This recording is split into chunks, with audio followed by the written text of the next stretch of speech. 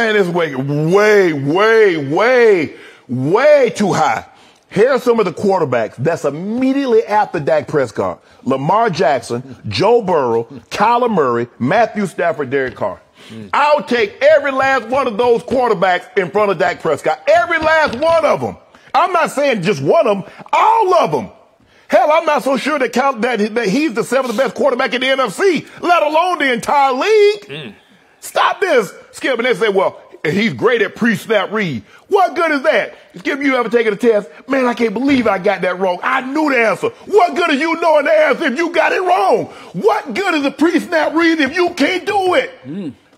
Every year we go through this. Mm. Come on, man. I get it. Dak is an unbelievable story. But Skip, this this is some bull jive. Ain't no way in hell. In the words of Tom Brady, this is some bleep